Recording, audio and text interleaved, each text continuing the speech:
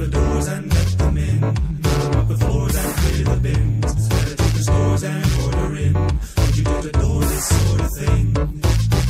Welcome to Fazbear Training and your new career. Please just ignore the staining. The last guy disappeared. Management may be frustrating. It's going to